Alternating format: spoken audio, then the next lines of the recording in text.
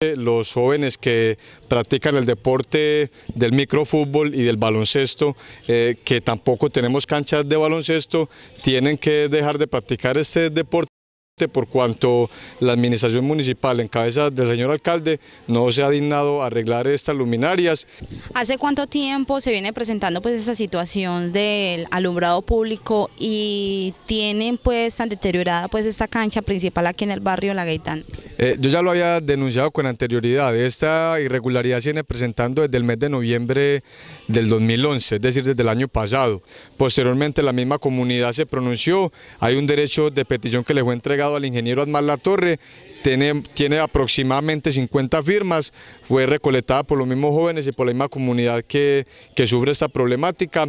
Como habitante del barrio La Gaitana, pues sí queremos eh, manifestar las necesidades de nuestro barrio como comunidad porque realmente eh, el alumbrado público eh, no se ha hecho durante este año. Esperamos que la nueva empresa que ganó la licitación pues nos, nos ayude en el tema de la iluminación del barrio en total. La placa polideportiva hay que acondicionarla en el término de microfútbol, básquetbol y voleibol. Tenemos una gran cantidad de niños, de jóvenes deportistas, de adultos que les gusta el deporte. Eh, conlleva esto que necesitamos luminarias y necesitamos la adecuación de la placa polideportiva. Pues las necesidades principales en cuanto al alumbrado, el parque pues, si me entiende, desde que se los jóvenes y la cancha, que se encuentra en un mal estado, pues necesitamos que nos cuadren las mallas, lo de los reflectores, porque somos muchos jóvenes que venimos acá a, hacer ese deporte. ¿Aproximadamente cuántos jóvenes pues hay aquí en ese barrio La Gaitana o cuántos jóvenes vienen a practicar el deporte aquí? Jóvenes, vienen muchos, vienen de diferentes barrios. Nosotros pues hacemos partidos con Del Lleras, Pensil, eh, Buenos Aires, todos esos barrios alrededores, el Chipre.